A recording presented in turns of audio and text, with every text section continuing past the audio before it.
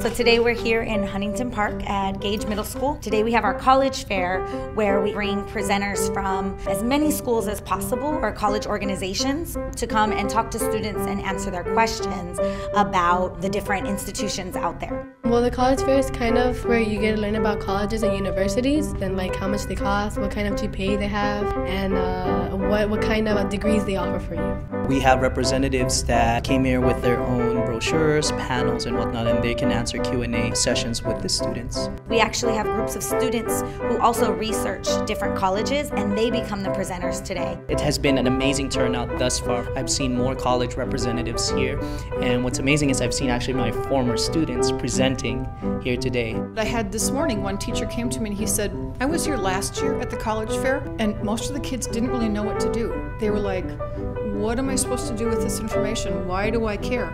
This year, they're very purposeful.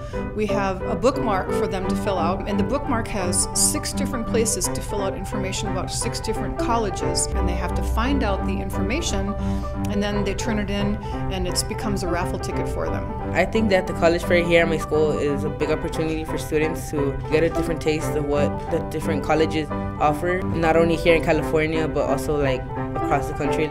Our community is predominantly um, non-high school educated and most of the parents don't have a high school education.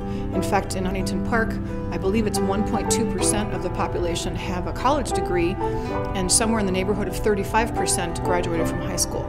So bringing Gear Up and college awareness to the middle school is essential for this community because there's so many kids at this school that are capable of going to college but just aren't aware of what the opportunities are that are available for them and they need to be educated. Gear Up gives us that extra support, the extra resources to continue to implement and sustain a college going environment here at Gage. Not just sporadic events or nights that we have here at Gage, but on a daily basis, students are continuously reminded to think about what they want to do beyond high school, beyond college. When the kids become aware of the fact that they can go to college and the fact that all of their teachers went to college, which really surprises some of them, um, they become aware of the possibility that it might actually happen for them.